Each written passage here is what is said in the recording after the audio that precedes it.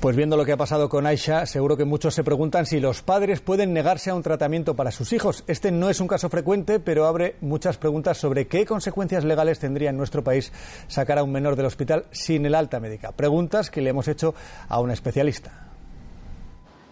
Son situaciones poco habituales, dicen los expertos, y delicadas, como ocurre siempre, que afectan a menores. ¿Pueden unos padres llevarse a su hijo del hospital sin el alta médica? Se puede ir usted del hospital si lo desea, pero con dos limitaciones.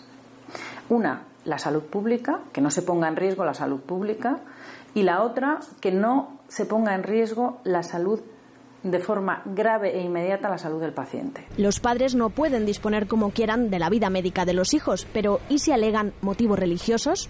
Si pone usted en riesgo la vida de su hijo por negarse a que reciba este tratamiento, eh, probablemente habrá que pedir una autorización judicial, intervenir a un juez, que eso sí que se ha dado en España en algunas ocasiones, y eh, habrá que someter el tema, habrá que judicializarlo. Es un debate jurídico controvertido porque enfrenta dos derechos fundamentales, derecho a la vida y derecho a la libertad, sea o no religiosa, todos protegidos de forma especial por la Constitución.